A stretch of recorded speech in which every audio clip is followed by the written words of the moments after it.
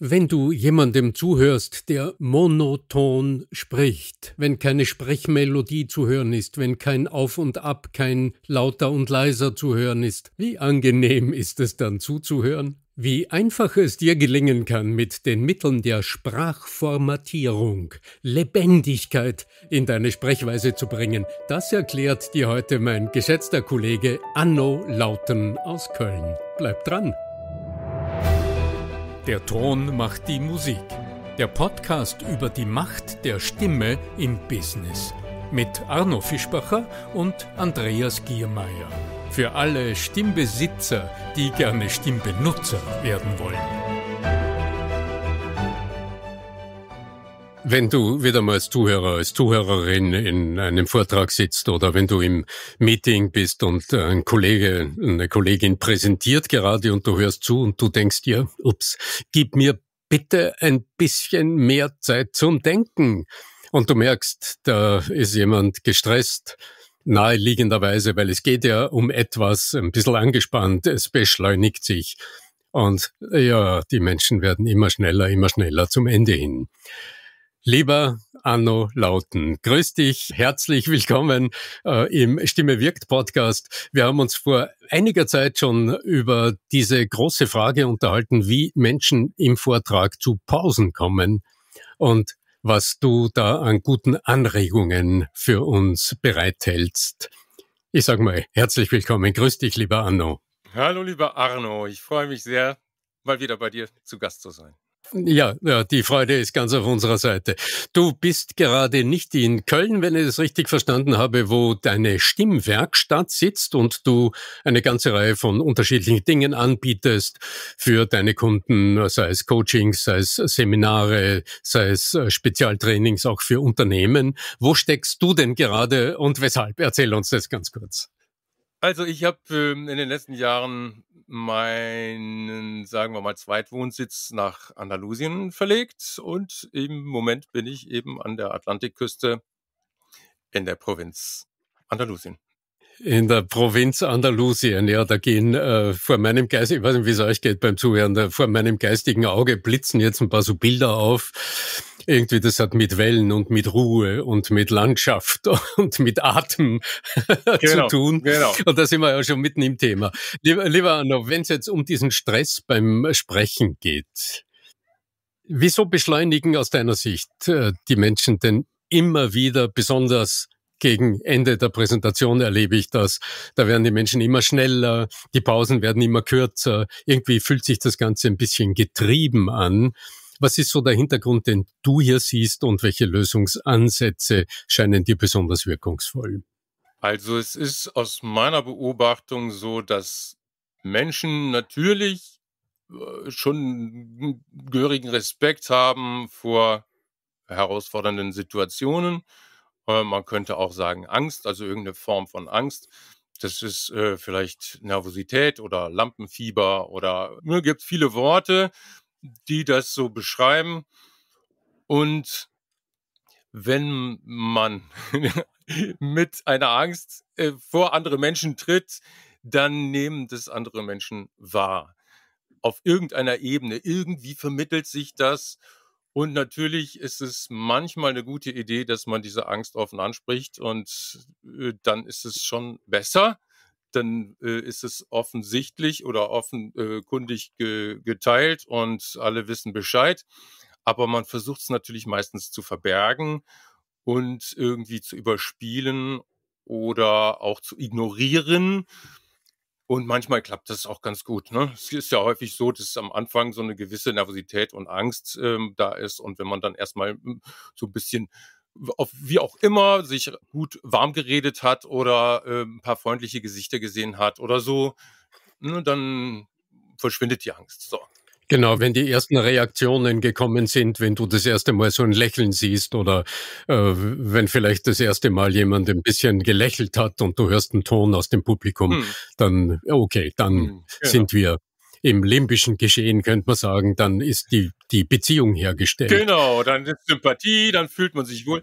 Ja, und, und, ja, und dann ist es aber natürlich sehr häufig so, dass ja die, die, die Gesichter nicht so freundlich sind und dass man vielleicht äh, nicht alles so umsetzen kann, wie man es sich vorher vorgestellt hat. Und das macht einen dann unsicher und man guckt in diese Gesichter und da sind Fragezeichen in den Gesichtern, da ist, ist äh, Teilnahmslosigkeit zu sehen. Man kennt ja, ne, wenn man auf der Bühne steht, es ist ähm, haarsträubend, man kann es jetzt hier ähm, bildlich gar nicht vormachen, aber diese Gesichter zu sehen, das ist, äh, kann einen schon irritieren oft und auch in Meetings. Ne? Und wenn dann Leute unaufmerksam sind und auf ihre Smartphones gucken und dies und das und immer auf die Uhr gucken. Also da entsteht mhm. dann schon so eine Unruhe und führt natürlich dazu, dass man sich dann als Redner, Rednerin ähm, auch ein bisschen treiben lässt, also im Sinne von angetrieben, sich dann zu beeilen. Und das ist fatal, weil es entsteht immer eine Spirale. Also meine ähm, Beobachtung ist, ähm, wir haben immer äh, linksrum oder rechtsrum Drehung. Es wird immer äh, entweder besser über die Zeit oder schlechter. Und wir haben natürlich die Möglichkeit zu intervenieren. Wir können da irgendwo einschreiten und sagen so, nee, ich äh, ändere jetzt die Richtung. Aber dazu müssen wir uns natürlich dessen bewusst sein, dass wir diese Möglichkeit, diese Macht haben, diese Entscheidungsmöglichkeit. Und dann brauchen wir vielleicht auch so ein, zwei Werkzeuge, die uns dabei helfen, dann eben das Ruder rumzureißen, wenn man so will. Mhm. Anno, wir haben in unserem, äh, in unserem ersten Gespräch über deinen Ansatz mit der Mikropause, also über diese Werkzeuge gesprochen. Und gerne, gerne heute äh, hören wir von dir da ganz sicher noch ein paar zusätzliche Anregungen und wie so ein Prozess weitergehen kann. Was mich aber sehr neugierig gemacht hat im Nachgang unserer erst, unseres ersten Gespräches, das ist, was ist denn jetzt eigentlich, wenn, wenn du mit Menschen arbeitest, wenn du jetzt einen Menschen vor dir hast, wo du merkst, da sitzt irgendwo so eine Angst vor der Situation oder da ist irgendwo eine Blockade, die, sagen wir, mit den üblichen äh, Vorgehensweisen, wo man nicht zu Rande kommt.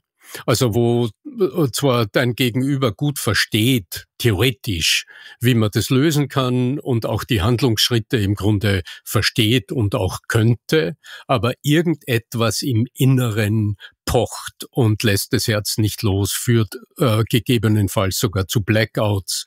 Ich hatte so etwas jetzt gerade vor kurzem in der Erzählung eines Kunden, der gesagt hat, es ist alles gut gegangen bis zu dem Moment, bevor es losgegangen ist, wo er dann gemerkt hat, es funktioniert einfach nicht und er hat den, die Staffel sozusagen an seinen Kollegen weitergegeben, der ihn entlastet hat und an, an Stelle, an, an seiner Stelle die, die Gäste begrüßt hat. Wie, wie siehst du das? Denn da habe ich das Gefühl, da ist etwas gröber in Unordnung. Also da ist im Lauf des Lebens hat sich etwas angesammelt, wo kleine Steinchen so aufeinander rollen und am Ende hast du ein Riesengeröll, das den Weg versperrt. Hm. Wie gehst du damit um? Was ist so deine Sichtweise hier drauf? Ich bin gespannt, ob ich dich richtig verstanden habe. Also wenn du jetzt sagst, es ist nicht nur situativ, sondern eben vielleicht eine, ein größeres Problem, so ein Steinhaufen, Geröllhaufen, ähm, der äh, äh, aus der Lebensgeschichte eines Menschen erwachsen ist, dann muss man natürlich schon manchmal viel aufräumen. Und das geht ja dann vom Coaching her schon auch in Richtung Psyche. Also es ist natürlich keine Psychotherapie, aber hm, ich gucke mir schon auch sehr gut an, was haben Menschen für Strukturen. Ähm, ich habe mich mit äh, Systemaufstellungen beschäftigt, immer äh, alle paar Jahre Fortbildungen gemacht.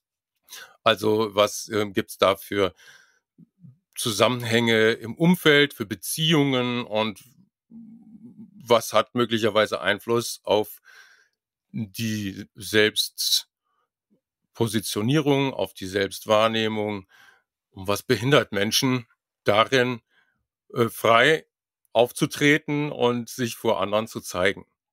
Und natürlich sind es äh, häufig Verletzungen in irgendeiner Beziehung und ähm, Blockaden, die daraus äh, entstehen, weil man vielleicht irgendwas nicht anrühren möchte. was, weil es einen retraumatisiert oder irgendwie zu sehr emotional berührt und bewegt und so weiter. Ne? Also, das ist jetzt ein großes Feld, finde ich, was du hier aufmachst. Ähm, so so äh, äh, empfinde ich das gerade. Ich würde es jetzt noch mal lieber ein bisschen mehr wieder lenken in die Situation, weil es klar, also mit manchen Menschen arbeite ich da wirklich sehr umfangreich, auch über längere Zeit. Manche kommen jahrelang zu mir, das sind wenige, aber es kommt vor. Und in der Regel sind aber meine Klienten ähm, einige Monate bei mir.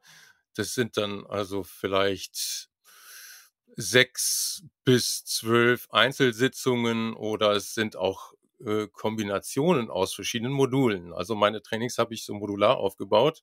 Es gibt also sowohl Präsenzseminare, die bestimmte Schwerpunktthemen haben, als auch das Einzelcoaching äh, und auch einen Online-Kurs. Und dann eben auch äh, Medien, die zum Einsatz kommen, also Audiokurse oder ähm, interaktive Hörbücher und sowas. Und daraus baue ich dann meistens ein Konzept für die Person, was den größten Erfolg verspricht, also Effizienz und Effektivität vereint.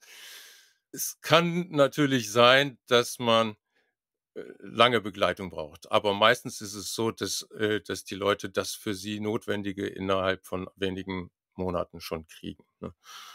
Und ja, es sind, es sind zum Teil Werkzeuge und es ist natürlich auch viel Üben. Also ich lasse Menschen dann mehrfach äh, in jeder Session oder in den Seminaren Dinge tun, also sich präsentieren und zeigen und sprechen und gebe natürlich dann Feedback dazu und meine, sagen wir mal, drei Haupttools, von denen die Mikropause das Wichtigste ist. Und dann gibt's noch zwei andere, die auch sehr hilfreich sind für viele Menschen. Mhm. Also ähm, im, im Grunde Du schaffst ein, ein, geschütztes Setting durch das, durch das, äh, durch die Anlage des Coachings oder des Trainings. Das ist ja ein geschützter Rahmen, in dem sich dein Kunde, dein Kundin erproben kann und dadurch auch die Sicherheit gewinnen kann, dass es zumindest im geschützten Rahmen schon einmal funktioniert. Also im Grunde, dass die Möglichkeit da ist, dass die Fähigkeit grundsätzlich da ist und dann ist der nächste Schritt, das ganz langsam auch in die stressigen Alltagssituationen zu transferieren. Aber dein letzter Satz hat mich jetzt neugierig gemacht. Von der Mikro über die Mikropause haben wir uns in unserem ersten Gespräch äh, bereits unterhalten. Vielleicht kannst du noch mal das Wesentliche aufgreifen. Und ich bin sehr neugierig, was sind denn deine zwei weiteren Lieblingstools, die du jetzt angesprochen hast, lieber Anno? Ja, die wesentlichen Merkmale der Mikropause sind zum einen, dass mindestens eine Atembewegung stattfindet. Das heißt, dass also die Sprechspannung gelöst wird und dadurch der Atem einströmt in die Lunge, dass wir also inspiriert werden. Und dazu gehört dann noch ein Bodycheck indem ich mich sehr schnell und auch in jeder Situation selbst wahrnehme, indem ich mit meiner Wahrnehmung, mit meiner Aufmerksamkeit ganz schnell von den Füßen bis zum Scheitel durch meinen Körper äh, scanne und wahrnehme, wo ich vielleicht gerade äh, eine Hand in der Tasche habe, ohne das zu beabsichtigen oder wo ich mit dem Stiftclip rumspiele oder äh, verkrampft bin im Gesäß oder in der Schulter oder irgendwas. Ne? Das, das fällt mir dann auf und ich kann es eben sofort beheben. Das ist also eine sehr, ein sehr gutes Tool zur Selbstwirksamkeit in jeder Situation, ohne dass ich jetzt vorher die Ursachen angucken muss, was auch natürlich sinnvoll ist. Aber es, ne, das, ist, das Entscheidende ist jetzt, dass es mir sofort hilft in jeder Situation. Und die anderen Tools, also das äh, nächste, was ich gerne vorstellen möchte, das ist die Sprachformatierung. das habe ich so genannt, weil es ähm, mir auffiel, dass viele Menschen so reden. Also, meine Damen und Herren, was wir Ihnen heute und ich freue mich, dass Sie alle kommen konnten und, äh, wir haben auf der Agenda und bla. So reden und, ähm, wenn wir uns Texte anschauen heutzutage, egal in welchem Medium, Printmedien oder Internet natürlich sowieso, dann sind Texte formatiert. Also Inhalte sind aufbereitet, nicht einfach nur Fließtext, schwarze Pünktchen auf weißem Hintergrund, sondern sie sind, ne, Formatierung fängt im Grunde schon an mit der Interpunktion. Das ist das Simpelste. Und dann geht's natürlich los mit Zeilenumbrüchen, mit Absätzen, mit äh, Fettschreibung, mit Unterstreichung und Farben und verschiedenen Schrifttypen und, und, und. Ne? Und dann habe ich mir gedacht, das muss man einfach stimmlich hörbar machen. Also der Grundgedanke ist, dass man sich von dieser, von diesen Millionen Möglichkeiten, die wir jetzt alle zu Hause in der Tasche sogar mit uns haben, im Smartphone, äh, dass wir davon wenigstens ein paar auswählen, die uns besonders gut gefallen. Vielleicht äh, drei Farben. Ich liebe die Zahl drei, also ich empfehle immer drei oder fünf aber das nochmal an anderer Stelle. Und dass also wir uns zum Beispiel drei Farben nehmen, drei verschiedene Schriftgrößen, drei Schrifttypen, möglicherweise Fonts. So. Und natürlich muss man es nicht übertreiben. Und dann schreibt man jeder dieser Farben eine bestimmte Stimmfarbe zu. Also ganz einfach. Simpel ist natürlich, wenn wir jetzt nehmen Rot, Grün und nein, nicht Gelb, nehmen wir Blau. Dann haben wir eben äh, schon mal so ne, die feurige Farbe, wo Leidenschaft und vielleicht auch Gefahr drin steckt, also die, die Stimme, die das transportiert. Dann haben wir mh, hm, eine grüne Farbe, die ist, würde ich mal sagen, ähm, erfreulich und entspannend, positiv so vital, lebendig. Und dann haben wir eine blaue Farbe, die ist für mich so mehr äh, klar und effizient und ruhig. Und da ähm, sehen wir dann sofort, wenn wir uns das einmal bewusst machen, dass sich der Stimmklang verändert. Und das kann man natürlich nutzen, wenn man Texte abliest, aber eben genauso zur Vorbereitung, wenn man jetzt eine Rede einübt oder irgendeinen Beitrag, dass man sagt, okay, jetzt diese Passage mache ich in Rot, manchmal auch vielleicht nur ein Wort oder ein Satz oder einen Produktnamen oder sowas. Und äh, dann mache ich die Passage in, in Grün und dann habe ich schon Abwechslung und Lebendigkeit im Sprechen. Mhm. Formatierung ich finde es einen schönen, einen sehr schönen Begriff. Im Grunde von, vom stimmlichen Ausdruck steck, stecken ja die zwei simplen Mechanismen dahinter. Auf der einen Seite die Dynamikunterschiede im Sprechen, also ist es mal äh, etwas äh, äh ja, dr dramatisch ausgedrückt, ist ein bisschen mehr Nachdruck dahinter oder fließt es dahin? Das wäre die andere Art und Weise. Die Melodie ist angesprochen, aber wenn du es mit Farben mit Farben ausdrückst, äh, ist nochmal ein ganz anderer, eine ganz andere Assoziation dahinter, oder? Die Farbe Rot oder mal Orange etwas, wow, ja, mit etwas mehr Begeisterung. Da, da, da sind wir aus diesem technischen, aus diesem technischen lauter, leiser und so weiter weit weg. Da sind wir ganz woanders. Ähm, äh, finde sehr ansprechend. Okay, also vom Bodycheck, äh, also die das Innehalten gibt die Möglichkeit, überhaupt mal zu schauen, wie ist es? Ich bemerke, aha, meine Schultern sind jetzt, der Oberkörper ist echt eingekrampft, denn meine, mein gestischer Radius ist eng und ich, ich schaue so, ich schaue so ernst rein, weil ich voll konzentriert darüber nachdenke, was ich als nächster tue. Okay, kurzer Bodycheck, ich merke das, okay. Dann merke ich schon, aha, die Pause ist entstanden der Atem fließt plötzlich wieder, wenn ich jetzt in der Lage bin, das auch wahrzunehmen. gar nicht so einfach. Ich denke, das sind große Schritte für Menschen, die vorher vielleicht gar nicht wussten, dass sie eine Körperwahrnehmung besitzen und was das ist. Absolut, absolut, ja, ja, ja. Ich erinnere mich auch an meine eigene äh, äh, Entwicklung. Natürlich war das für mich auch ein langer Weg. Also die, die, die Gesangsausbildung hat ja schon zehn Jahre gedauert und ja, mit vielen äh, mhm. zusätzlichen Workshops und, und Fortbildungen. Aber ja, ähm, es ist möglich. Also ich beobachte manchmal sehr, sehr schnelle Umsetzungen, wirklich. Das ist eine Frage der, des Fokus dann. Des Fokus, ja, ja. Und, äh, und vielleicht auch ein bisschen der, der Vorerfahrung der Menschen mit sich selbst. Also inwie, inwieweit jemand, der zu dir oder zu mir kommt, sich schon mal Gedanken über sich selbst gemacht hat und äh, wie weit äh, jemand äh, überhaupt verstanden hat, dass es außerhalb der rein der rein gedanklichen Welt, in der man sonst so ist im Beruf, wo wo es immer um die nächstwichtigen Dinge geht, das ist ja das körperliche, dass das körperliche ja immer die Grundlage allen Handelns ist und dass auch das Gehirn ja im Organismus drinnen steckt. Im Kopf ist ja ein Teil des Körpers. Das verstanden zu haben, ist sicher ein Startvorteil. Ich weiß nicht, wie du das erlebst. Wie, wie ist jetzt so eine weitere Vorgehensweise? Wenn du, wenn du jetzt mit jemandem diese Schritte, wenn du jetzt mit mir als, als, als Kunde, als, als Coachee diese Schritte so weit gegangen bist und ich habe dann verstanden, okay, ich kann jetzt meine Sprechweise formatieren. Den Ausdruck zwischendurch mal gestalten, mal ein bisschen flüssiger und dann ist es jetzt aber besonders wichtig, wo wäre jetzt für dich dann noch so ein, ja, so der Feenstaub über dem allen?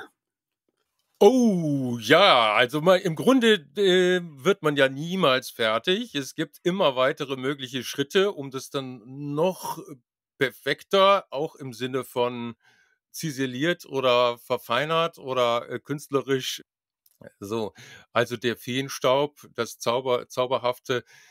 Sagen wir mal, jetzt ganz, ganz konkretes Vorgehen wäre, ich nehme einen Text der ist fertig geschrieben, ein Text, der soll präsentiert werden und dieser Text wird dann von meinem Coachee vorgelesen, vorgelesen mehrfach mit Anmerkungen, mit Mikropause, mit der richtigen Intonation und so weiter, also mehrmals im Kreis. Und dann ist natürlich der nächste Schritt, sich von dem Text zu lösen. Also möglicherweise hm, Stichworte aufzuschreiben, vielleicht auf Karten und die dann vielleicht auch in der Sprachformatierung, also auch farblich die Stichworte, vielleicht auch in verschiedene ne, Kursiv oder Fett oder große, kleine Schrift. Also diese Stichworte enthalten dann schon sehr viel Information, ohne dass es viele Worte sind. Ja, also haben sehr starken Inhalt. Ich sehe auch immer wieder, kleiner Einschub hier, dass Menschen sich gar nicht so bewusst sind, wie viel Inhalt ein Wort tragen kann. Viele Menschen machen viel mehr Worte als notwendig und nutzen gar nicht die Kapazität eines Wortes, um möglichst viel an Bedeutung oder Inhalt rüberzubringen. Viele sagen die gleichen Inhalte zweimal, dreimal, viermal, weil sie merken, dass es nicht ankommt oder weil sie selber den Faden verloren haben und verbrauchen unglaublich viel Zeit, ohne dass durch diese Wiederholung ein Mehrwert entsteht. Ich empfehle natürlich meinen Leuten, äh, meinen Kunden immer kurze Sätze zu machen, aber ich liebe ja Schachtelsätze. Ich liebe das. aber es ist eine Herausforderung auch für Zuhörende natürlich. Und ähm, ich habe schon gemerkt, du bist ein bisschen ungeduldig auch. Also jedenfalls wäre dann der weitere Schritt, ja, diese Stichwortkarten zu machen und sich dann irgendwann auch von diesen Karten zu lösen. Ne? Also es ist halt immer die Frage auch, wie viel Zeit hat ein Mensch, um sich so perfekt vorzubereiten. Aber das wäre dann der nächste Schritt, ja, wenn man eben genug Zeit einsetzen kann. Mhm. So.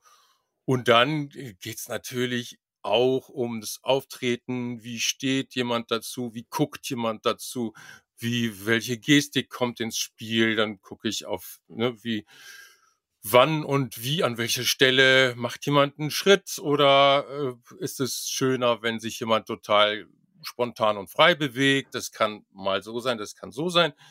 Ne, das ist abhängig vom Typ, vom Typ Mensch, von der Situation, von den Inhalten. Mhm. deswegen, also es gibt jetzt so keine starre Vorgehensweise oder das wird unbedingt genau nur so gemacht, ne? sondern ich gucke natürlich, dass es insgesamt ein Kunstwerk wird oder eine überzeugende Präsentation. Und dann häufig auch Medieneinsatz, also Stichwort Folien. Mhm. Schon fängt es hier bei mir an, dass Menschen fälschlicherweise von Präsentationen sprechen und damit die Folien meinen. Dabei ist ja die Präsentation der Auftritt des Menschen, der sich und das Thema präsentiert und Folien nutzt als Hilfsmittel. Und das, obwohl das ja vielen schon bekannt ist und auch Worte wie Folienschlachten kursieren, sind trotzdem noch erschreckend viele Menschen unterwegs mit diesen viel zu vielen und vollgepackten Folien und handeln die dann auch schlecht. Also stellen sich dann einfach zu sehr an die mhm. Seite oder ähm, schalten die auch nicht aus. So ein Tipp hier bei The Site ist schon mal, die Folien einfach zwischendurch auszuschalten. Um Raum zu geben. Ja. Da gibt's diesen berühmten äh, äh Knopf auf schwarz zu schalten, ganz genau. Anno, äh, Anno ähm, ich habe äh, ich hab etwas ganz besonders interessant gefunden. Du hast eingangs auch äh, ja davon gesprochen, diese, diese Sprachformatierung, wie du es nennst, also dieses Gestalten des Sprechens, sich bewusst zu machen. Dazu nützt du Texte. Also da hast du ähm, da hast du ein Blatt Papier, wo ich weiß nicht, also wo ähm, ein Text drauf ist. Und anhand dieses Textes gehst du mit deinen Kunden jetzt mal ab und zu die ersten Schritte, so auf Endlosschleife, Text von vorne bis hinten, so dass Gestaltungsmöglichkeiten mal überhaupt bewusst werden und nutzbar werden, so dass ich also in der Lage bin, das mal anhand dieses Textes für mich zu erproben. Im nächsten Schritt allerdings, und das scheint mir jetzt, ich will es nur hervorheben, weg vom geschriebenen Text. Das, das heißt, du würdest auch niemandem empfehlen, mit einem Skript in den Vortrag zu gehen und dann aufs Rednerpult den Text hinzulegen und dann sich zu bemühen, das vorzutragen, was am Papier oben steht. So verstehe ich dich richtig. Es geht immer ums freie Sprechen. In der Regel ja. Natürlich gibt es auch ähm, äh, Situationen, wo das Skript angebracht ist. Wenn das jetzt eine Vorlesung ist vielleicht oder eine politische Rede, die möglicherweise so aktuell sein muss, zeitnah, dass man das jetzt nicht schon hundertfach repetiert hat, sondern es ist eben gerade frisch geschrieben, ja, und, und es ist vielleicht auch vom Umfang her so groß, dass man das jetzt nicht alles memorieren mhm. kann. Das ist, äh, hat man leider einfach oft nicht die Zeit dafür und es ist auch nicht notwendig, weil auch abgelesen kann man mhm. Inhalte ganz toll und hinreißend, mitreißend ähm, präsentieren. Also ne, deswegen kommt immer drauf an, was ist das Ziel, ja? Genau dazu haben wir gerade vor kurzem eine Episode auch produziert. Äh, wie kann das funktionieren, dass du einen Text so interpretierst im Grunde, dass du ihn nicht abliest, sondern das, was hier am Buchstaben steht, tatsächlich wiedergibst angesichts des Publikums, also das direkt kommunizierst.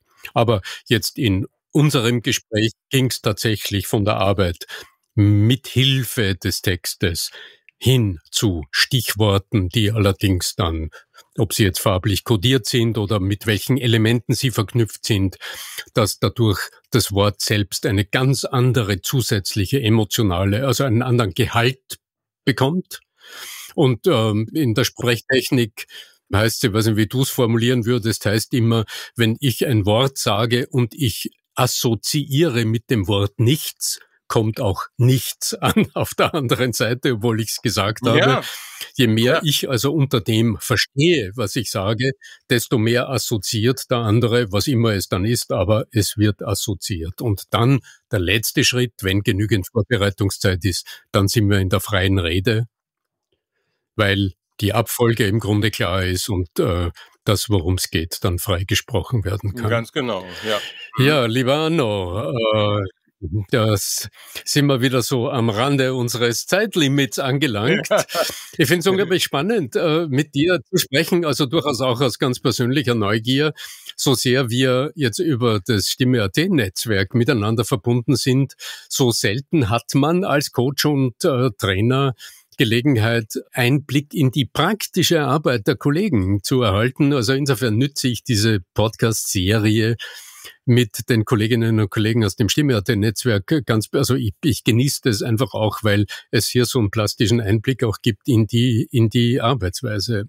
Und für deine Offenheit, ähm, das auch so zu zeigen und äh, preiszugeben und auch unseren Hörerinnen und Hörern ähm, mitzugeben. Danke ich dir ganz herzlich, lieber Arno. Äh, toll, dass du auch heute wieder mit dabei bist. Wir werden die Serie ganz sicher irgendwann mal fortsetzen. Ja, Dann unbedingt. grüße ich dich ganz herzlich nach Andalusien, Arno. Ja, ganz herzliche Grüße, sonnige Grüße nach Salzburg und bis bald.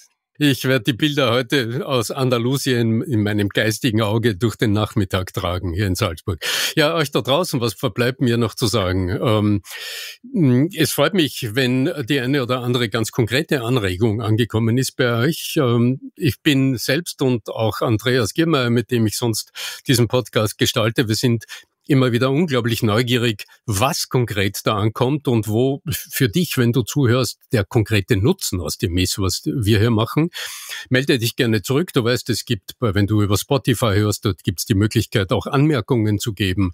Bewertungen sind eine bewährte Methode zurückzumelden, ob und wie äh, dir das gefällt, was wir tun. Wir freuen uns über Sterne, die du vergibst und natürlich auch über Anregungen über Social Media oder auch per E-Mail an podcast.arno-fischbacher.com. Ja, in diesem Sinne, möge die Macht der Stimme mit dir sein. Dein Arno Fischbacher.